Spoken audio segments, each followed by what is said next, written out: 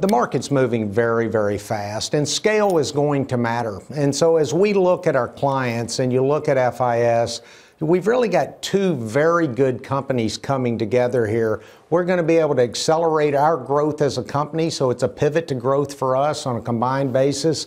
We'll do 12 billion in revenue and growing 6% organically and producing 5 billion of EBITDA.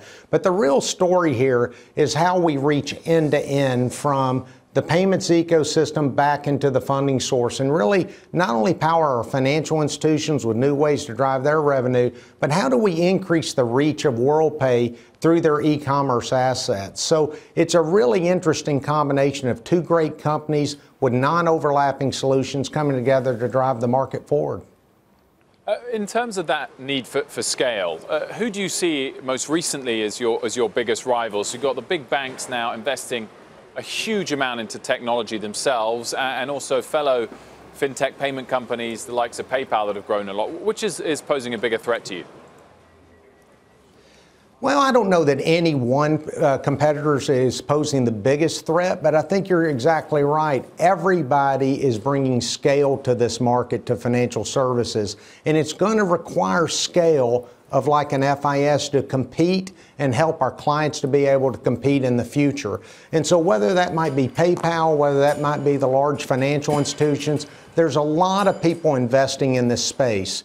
We're really dealing with a lot of modernization and a lot of innovation going on in the industry today. So driving the necessary capital infusion and scale necessarily to allow our customers to compete is going to be very important. But it's a very competitive space, so we'll see competition coming from the large scale providers. We'll also see competition coming from new disruptors entering the space. So uh, we're, we're looking forward to combining the two companies and really forming the future of finance and commerce.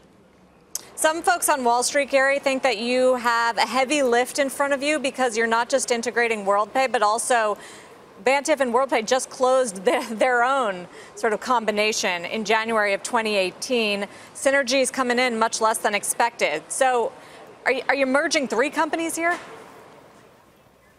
No, we're really not. You know, it's an interesting point. Obviously, as you can imagine, is I, have actually known Charles and the team for the better part of a decade. We've worked together very closely over time.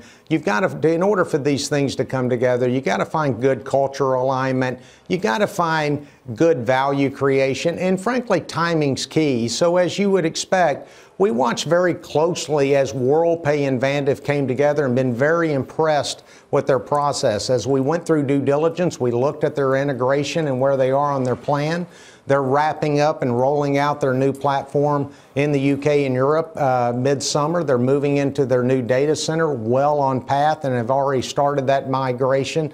You look at what they've done in the U.S., they're well down the path and close to completion there. So we feel very good that actually the WorldPay Vantiv integration is really materially behind them. It's now an opportunity for our two companies to come together and, and continue to increase that value. Because we've got complementary solutions and not a lot of overlap, it's not a very going to be a very heavy lift for FIS and WorldPay to come together.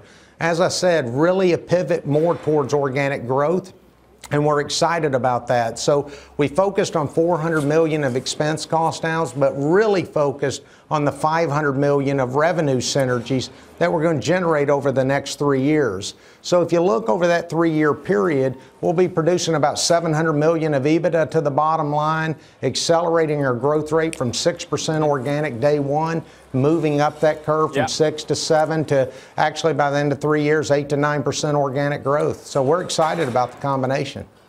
Gary, just quickly, both uh, yourselves and WorldPay were spun out of established banks in the US and the UK, respectively. I mean, particularly on the UK side, since WorldPay was uh, mandated by the government that RBS had to, to sell it. Do, do you think uh, the likes of RBS and the UK government will be ruining the day they sold these uh, fintech companies?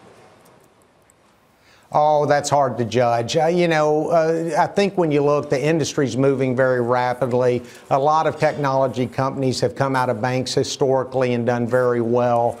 You know, we think this combination is going to really be a great differentiator for our shareholders, for our clients, uh, and so for our employees. So I think, uh, you know, I think these combinations make sense, and and I don't think people look back on where the where the original assets started.